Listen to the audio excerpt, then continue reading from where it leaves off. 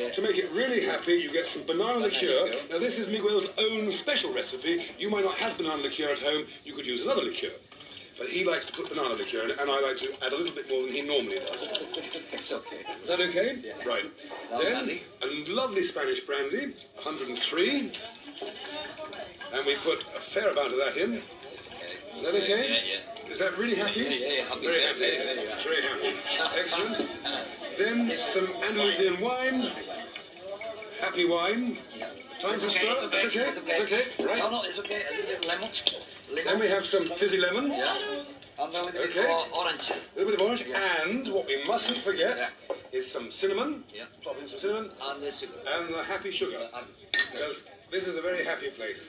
And to make ourselves even more happy, you know, as a rest from grinding up the gazpacho, we can cheer ourselves up with the classic drink of Andalusia, the classic drink of Spain, which is...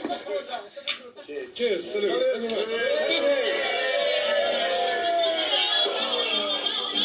Now, Clive, I have really one of your big, famous, fat close-ups on the soup? I can just go to the finer points of the whole soup. You'll remember I basically liquidized tomatoes with red peppers, green peppers, and all that stuff, and got that lovely soup there.